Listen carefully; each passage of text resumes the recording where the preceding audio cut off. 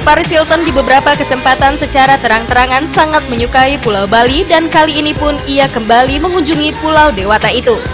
Dan hal itu seperti yang dikabarkan di akun Instagramnya, Paris baru saja sampai di Bali pada hari Minggu 25 Januari 2015. Di akun Instagramnya, Paris mengunggah beberapa kegiatan yang ia lakukan di villa mewah tempat dirinya bersama orang-orang terdekatnya tinggal. Tampaknya Paris sangat menikmati keberadaannya di Bali. Saat tiba pun dirinya langsung berjalan-jalan ke pantai terdekat vilanya. Ia juga memamerkan bikini sensual bertema leopard dan bunga-bunga biru saat menikmati suasana Bali. Tak lupa Paris juga menunjukkan beberapa fasilitas wah yang ada di vilanya tempat ia tinggal.